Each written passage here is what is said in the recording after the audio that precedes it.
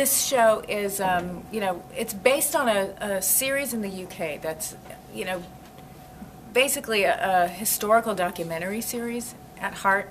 Um, we take a subject who's a celebrity, um, and we accompany them as they trace their family tree.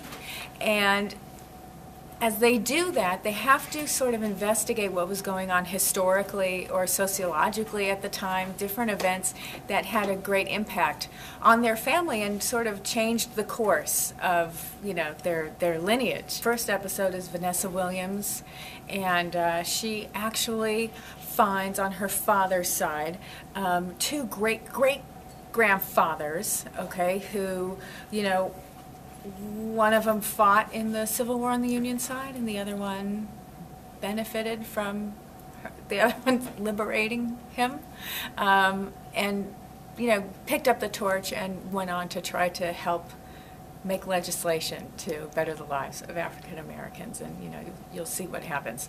Um, I won't do this for everyone because then at some point we all have to go to sleep, but and then Tim McGraw has a phenomenal story that goes way back in our country.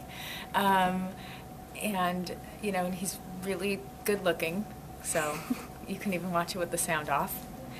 And, but don't, or you'll miss the great stories, which we worked hard on. Kim Cattrall is a great story that's, um, it's not going back generations, it's mostly her search to find out what happened to her grandfather who had abandoned her mother and her aunts when they were little girls.